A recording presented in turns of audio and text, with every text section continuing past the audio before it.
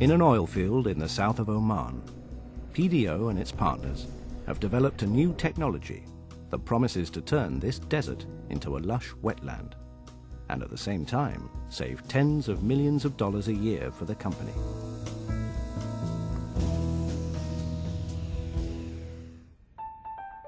The Nimr oil field produces as much as 120,000 barrels of oil a day.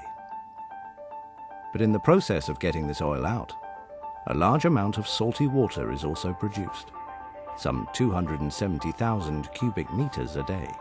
Water is a major production headache.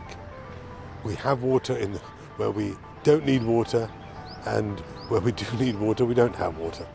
Currently, this water is got rid of by pumping it more than two kilometers underground in an energy intensive and expensive process called deep water disposal, or DWD.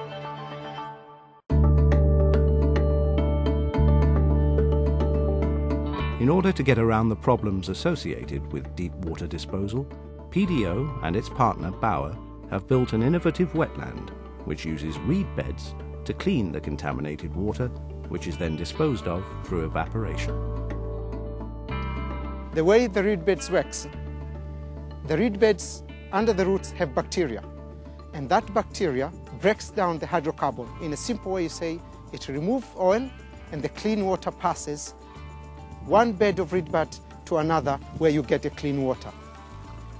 The plant has been designed to use as little energy as possible.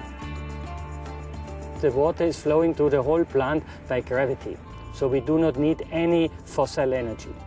In an hour, DWD would consume 50 times that than of a reed bed project. So it's a big bonus. But as well as saving energy and money, there are a number of other benefits to the reed bed project.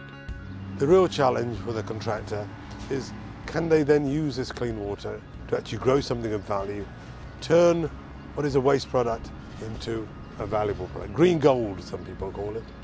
But that's what it's all about for me. There is also another benefit, which could be good for PDO and the planet. This project is the first large-scale project in PDO and in Oman to have a carbon credit. To add to this, the reed bed projects were awarded the Industrial Water Project of the Year.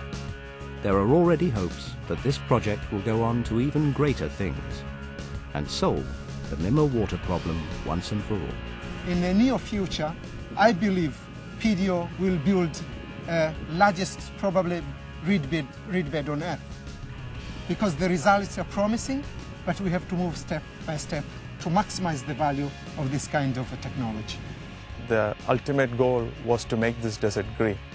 And when many people would have doubted that is it really possible, and it's proven, as you see in my background, that yes, we can make this desert green. And that's why it's been an international breakthrough.